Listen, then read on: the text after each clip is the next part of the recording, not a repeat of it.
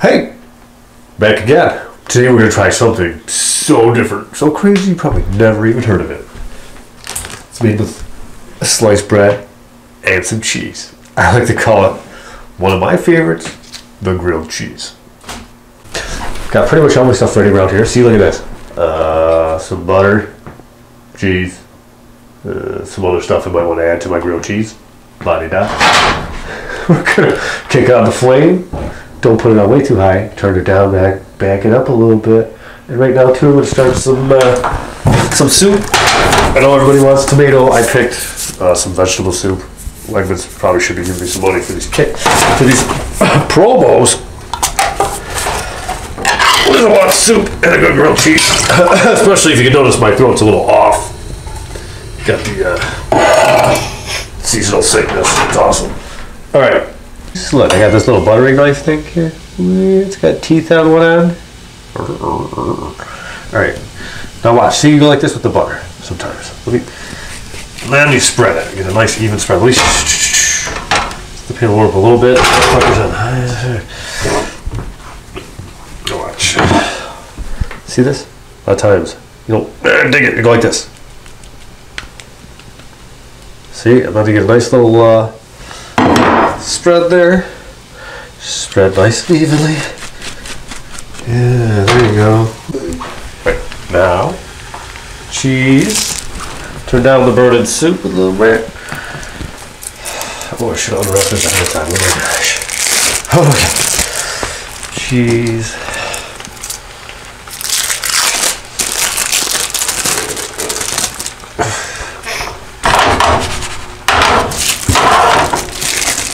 Rotate the pan, kind of even out the heat a little bit if you need to.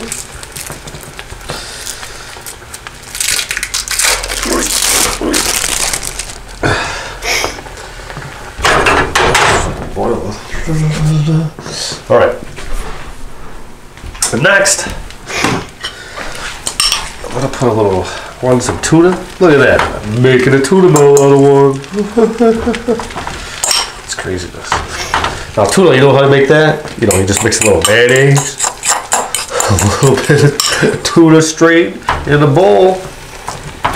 There you have it.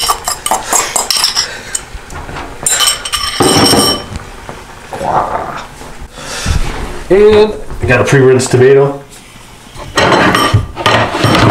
Who doesn't like a little bit of tomato or that stuff?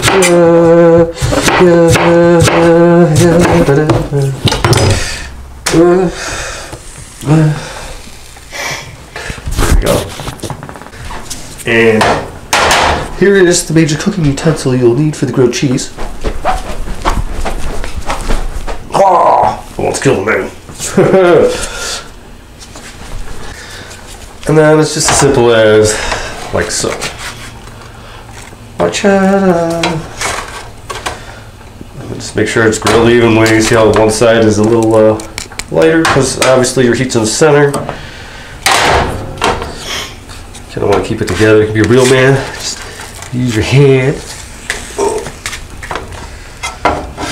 Yeah, like that, huh? And you just want to Sure both sides are done evenly.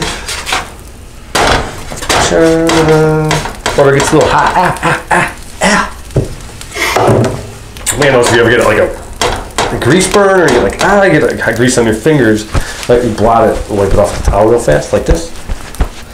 Just get all of it off. Because if you can't make it to the sink real fast, it kind of takes the heat right away.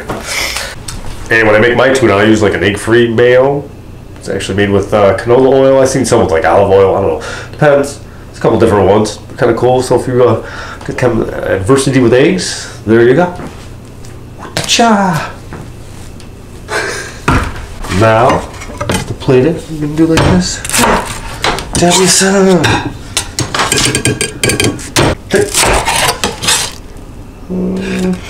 Whatever. Daniel Stone. And oh crap, I need a bowl.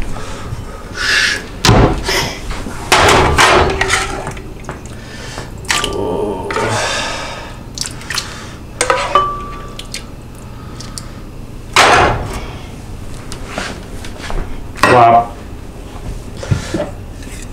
There you go.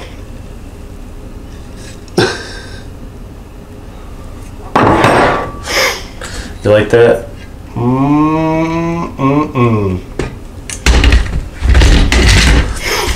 That was that was the time I was pocket when we danced. You spin me round, round, baby, round, round, go round, baby, round, round, round, round. Ah. Oh.